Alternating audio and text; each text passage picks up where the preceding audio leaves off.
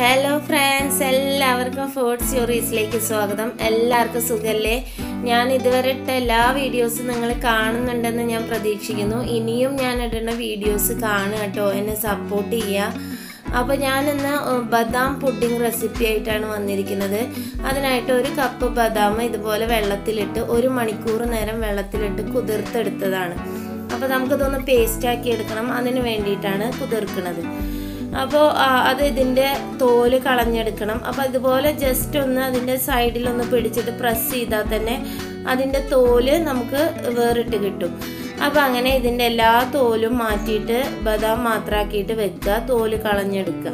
അപ്പോൾ ഞാനിതാ അത് അതുപോലെ ബദാമിന്റെ തോലൊക്കെ എല്ലാതും ഒന്ന് കളഞ്ഞെടുക്കട്ടെ കേട്ടോ അപ്പോൾ അതാ ഞാൻ ബദാമിന്റെ തോലൊക്കെ മാറ്റി മാറ്റിയെടുത്തിട്ടുണ്ട്. ഇനി ഇത് ഞാനൊരു മിക്സിയുടെ ജാറിലോട്ട് ഇട്ട് കൊടുക്കുകയാണ് നമുക്കതൊന്ന് പേസ്റ്റ് പോലെ അരച്ചെടുക്കണം. അപ്പോൾ ഞാൻ അതിനായിട്ട് മാറ്റിയെടുക്കുന്നുണ്ട് ഇനി അതിലോട്ട് ഒരു കാ കപ്പ് പാൽ കൂടി ഒഴിച്ചു കൊടുത്തിട്ട് നല്ലോണം ഒന്ന് അരച്ചെടുക്കുക. നിങ്ങൾക്ക് നല്ല പേസ്റ്റ് പോലെ ആവണം എന്നുണ്ടെങ്കിൽ അങ്ങനെ അരയ്ക്കാം. ഇല്ലെങ്കിൽ കുറച്ചൊന്ന് കടിക്കാൻ കിട്ടാൻ വേണ്ടിയിട്ട് ഒന്ന് ജസ്റ്റ് ഒന്ന് അടിച്ചെടുക്കുക. അപ്പം ഞാൻ ജസ്റ്റ് ഒന്ന് അടിച്ചെടുത്തിട്ടേ ഉള്ളൂ. ഇവിടെ എല്ലാവർക്കും നല്ലോണം പേസ്റ്റ് ആവണത് ഇഷ്ടമല്ല അപ്പോൾ അങ്ങനെ അടിച്ചെടുത്തിട്ടുണ്ട്. ഇനി ഇതാ ഒരു പത്ത് ഗ്രാം ചൈന ഗ്രാസ് ആണിത്.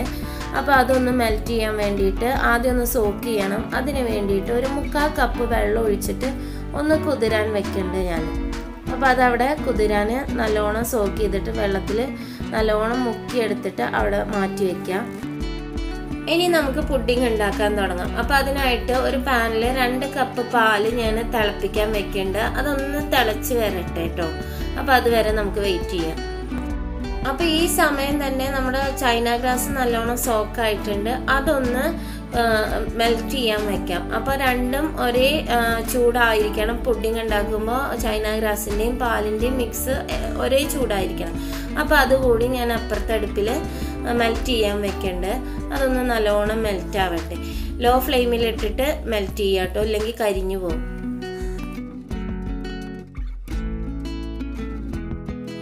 അപ്പോൾ ഇതാ നമ്മുടെ പാലൊക്കെ നല്ലോണം തിളച്ച് വന്നിട്ടുണ്ട്. ഇത് അധികം നേരം തിളപ്പിക്കൊന്നും വേണ്ട കേട്ടോ അപ്പോൾ ഇതാ നല്ലോണം തിളച്ച് വന്നിട്ടുണ്ട്. ഇനി ഇതിലോട്ട് നമ്മുടെ ബദാം അരച്ച് വെച്ചത് ചേർത്ത് കൊടുക്കുക കുറേശ്ശെ കുറേശ്ശെ ചേർത്ത് കൊടുത്തിട്ട് നല്ലോണം മിക്സ് ചെയ്യാം കേട്ടോ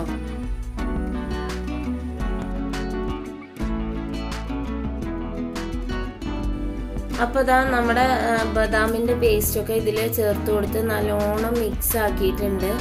ഇനി ഇതിൽ നമുക്ക് മധുരത്തിന് നമുക്ക് വേണമെങ്കിൽ ഷുഗർ ചേർത്ത് കൊടുക്കാം. ഞാനിപ്പം മിൽക്ക് മെയ്ഡാണ് ചേർത്ത് കൊടുക്കുന്നത് എനിക്ക് എപ്പോഴും പുഡിങ്ങിന് മിൽക്ക് മെയ്ഡ് ചേർത്തതാണ് കൂടുതൽ ടേസ്റ്റ് തോന്നിയിട്ടുള്ളത് കേട്ടോ അപ്പോൾ അതാ ഒരു മുക്കാ ടിന്ന് മിൽക്ക് മെയ്ഡ് ഞാൻ ഇതിലോട്ട് ചേർത്ത് കൊടുക്കുന്നുണ്ട് ചേർത്ത് കൊടുക്കുമ്പോൾ തന്നെ നല്ലോണം മിക്സ് ചെയ്യാം കേട്ടോ അപ്പോൾ ഇതാ ഞാൻ മിൽക്ക് മെയ്ഡൊക്കെ ചേർത്ത് നല്ലോണം മിക്സ് ആക്കിയിട്ടുണ്ട്. ഇനി നമുക്ക് ഇതിലോട്ട് മെൽറ്റ് ചെയ്ത് വെച്ച ചൈന ഗ്രാസ് ചേർത്ത് കൊടുക്കുക ഇതിപ്പോൾ നല്ലോണം മെൽറ്റ് ആയിട്ടുണ്ട്. അപ്പോൾ അത് ചേർത്ത് കൊടുക്കുക. എന്നിട്ട് നല്ലോണം മിക്സ് ചെയ്യുക കേട്ടോ ചേർക്കുമ്പോൾ തന്നെ നല്ലോണം മിക്സ് ചെയ്ത് കൊടുക്കുക. എന്നിട്ട് ഗ്യാസ് ഓഫ് ചെയ്യുക. അപ്പോൾ നമ്മുടെ പുഡിങ് ഇവിടെ റെഡി ആയിട്ടുണ്ട്. അപ്പോൾ അത് ഇനി സെറ്റ് ചെയ്യാൻ വെക്കേണ്ട പണി മാത്രമേ ഉള്ളൂ. അപ്പോൾ അതൊരു നാലഞ്ച് മണിക്കൂർ നമുക്ക് ഫ്രിഡ്ജിൽ വെക്കണം. അതിനായിട്ട് ഞാനിത് ഒരു പുഡിങ് ട്രേയിൽ ആദ്യം പകുതി ഒഴിച്ച് കൊടുക്കുന്നുണ്ട്.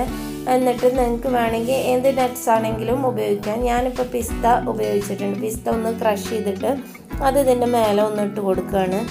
അപ്പോൾ നിങ്ങൾക്ക് വേണമെങ്കിൽ ഏത് വേണമെങ്കിലും ഉപയോഗിക്കാം. ഇല്ലെങ്കിൽ ചോക്ലേറ്റ് സിറപ്പോ അങ്ങനെ എന്താ വെച്ചാൽ നിങ്ങളുടെ ഇഷ്ടത്തിനനുസരിച്ച് ഉപയോഗിക്കാം കേട്ടോ. എന്നിട്ട് അതിന്റെ മേലേക്ക് ബാക്കിയുള്ളത് കൂടി ഒഴിച്ചു കൊടുക്കുക. എന്നിട്ട് കുറച്ചുകൂടി പിസ്ത വിതറി കൊടുക്കുക. എന്നിട്ട് ഫ്രിഡ്ജിൽ ഒരു നാലഞ്ച് മണിക്കൂർ സെറ്റ് ചെയ്യാൻ വെക്കാം അപ്പോൾ ഇതാ ഞാനിതെല്ലാതും പുഡിംഗ് ട്രേയിൽ ഒഴിച്ചിട്ടുണ്ട്. ഇനി ഫ്രിഡ്ജിൽ വെച്ച് ഒന്ന് സെറ്റാക്കി എടുക്കുക. അപ്പം ഞാനിത് രാത്രിയാണ് ഉണ്ടാക്കിയത്. എന്നിട്ട് രാവിലെയാണ് കേട്ടോ എടുത്തത്.